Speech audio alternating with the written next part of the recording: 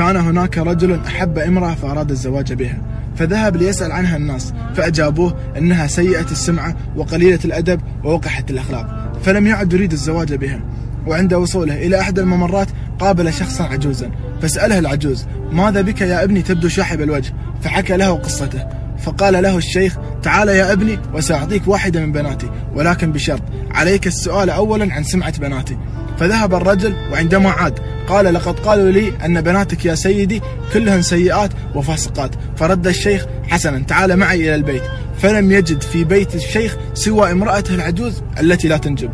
أنتم متخيلين ان طلعت حرمته ما تربي أصلا؟ بس شوفوا كلام الناس كيف. يقول لك عامل الناس بما ترى منهم ليس بما تسمع عنهم. ما يسمع كلام الناس حلوة الدنيا بعيون. صافي البال ما مهموم ما عنده ليه